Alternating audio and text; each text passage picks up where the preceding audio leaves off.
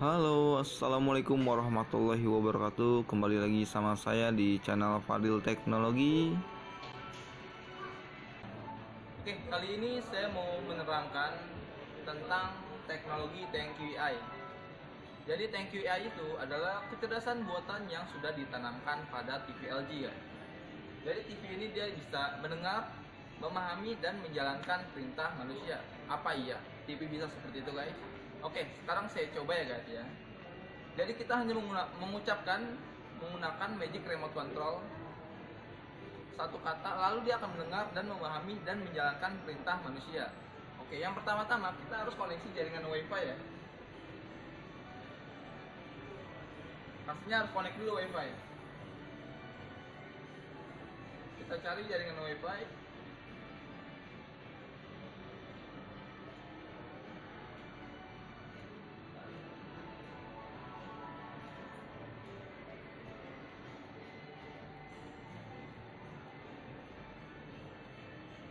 Nah, setelah jaringan WiFi sudah terkoneksi, jangan lupa kita atur bahasa ya, bahasa sesuai bahasa negara kita. Nah, di sini bahasanya sudah bahasa Indonesia ya. Oke, sekarang saya mau coba menggunakan Magic Remote Control ini tentang Tank GI. Saya akan coba satu kata dulu. YouTube.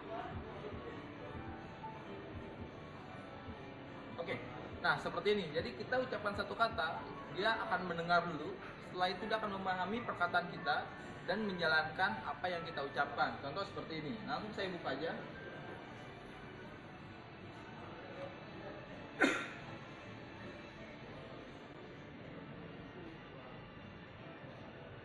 Nah, oke guys, langsung kebuka.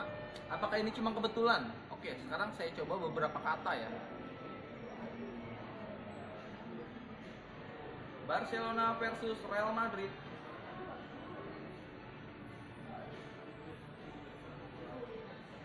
Oke guys, benar-benar pintar berarti TV-nya guys ya. Oke, langsung kita buka.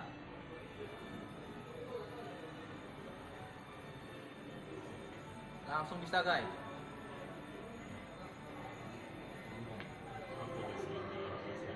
Jadi TV ini adalah TV yang paling pintar saat ini ya guys.